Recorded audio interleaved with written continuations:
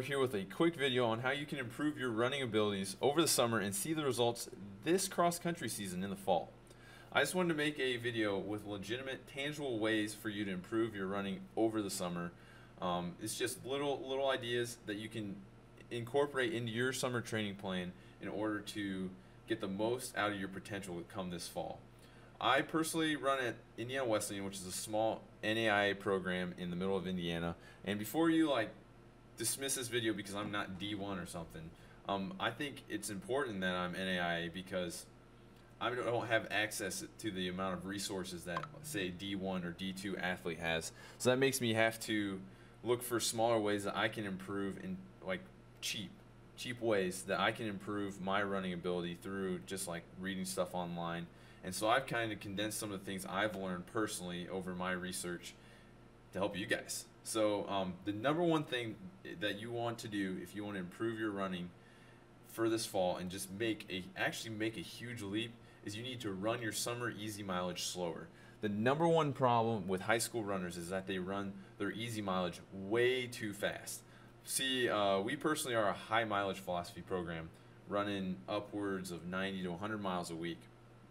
But I don't, I don't touch a mile faster than 7:30 until usually come cross country season, like uh, our first week at camp. You got to keep that mileage slow because what you're doing when you're running slow is you're still building your aerobic system, which all summer mileage is building that aerobic base that you need in order for the workouts when you start building on top. You make this aerobic base here. And then once you come into cross season, you start doing these workouts and building up and building up and just getting your aerobic endurance higher. But you need that base, and the only way to get that base is running that summer mileage. And if you're running it fast, all you do is all you're doing is tearing your body down. There is in my opinion, there's no reason to run faster than a seven minute mile at any level. Um, I mean, unless you're like a pro or something, but at any high school level, it doesn't matter how fast you are, you don't need to be running faster than seven minutes on any of your easy mileage because anything faster than that, all you're doing is you're just wearing down your legs, you're wearing down your muscles, you're wearing down your bones, and you're just making yourself more susceptible to some kind of overuse injury come across like the actual season when you're doing workouts and then the pounding just gets too much. Okay, so now number two, the number two most important thing in order to see results this cross country season is consistency. You need to stay consistent during your summer training. You got to stay five to six days a week, all all summer long. Excuse the beeping in the background, dehumidifier, but you got to stay consistent all summer long. If you like say you come out start of the summer you're gung-ho and you run for all the month of june. You run the whole month of june taking a couple days off here and there. And then july you kind of peter out only sometimes running two to three times a week. You're going to be hurting come when you guys come into cross country season.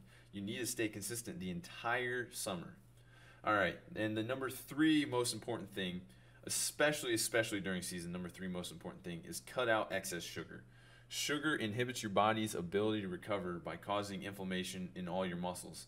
So what you got to do is you got to cut out excess sugar. Me personally, during the season, I don't eat a single dessert all year long. From the start of the season till after nationals, I don't eat a single dessert because that sugar takes away from your body's ability to recover.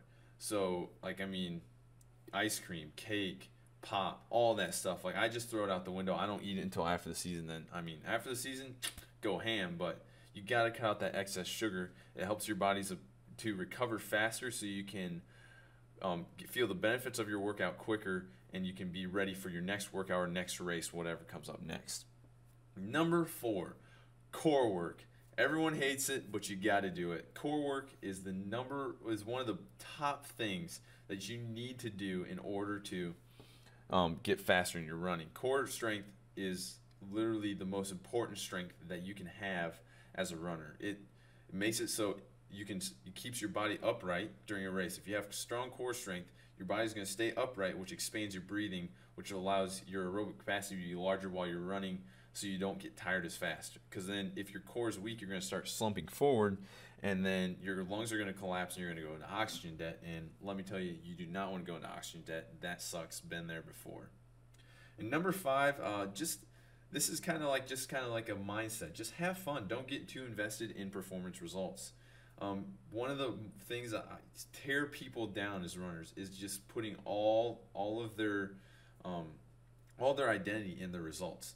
Like if you have a bad race or you don't have don't improve as much as you want to, you can't just get super down and think like, oh, I'm a crappy runner because I had a bad race. Everyone has bad races. You got to stay strong, bounce back, and just enjoy running. That's the number one thing. You just got to enjoy running. If you don't enjoy running, then there's really no point to what you're doing. You should find something else. Just enjoy the process, enjoy racing, enjoy the community. Cross country is a great community where you get to meet all kinds of different people, all striving to do the same thing you're doing, which is run faster. So, uh, yeah, those are my five tips right here. One, run run your mileage slower. Two, stay consistent in your mileage all summer. Three, cut out excess sugar. Four, hit that core work on the weekly. And number five, just have fun. Don't get invested in the performance results. Well, that's it for this video. Uh, thank you very much if you watched along. Um, make sure you hit the like and subscribe button and uh, let me know in the comments below if you'd like to see more videos, uh, what kind of videos you want to see. Um, I'm really into running, so I will talk about anything really into running. Peace.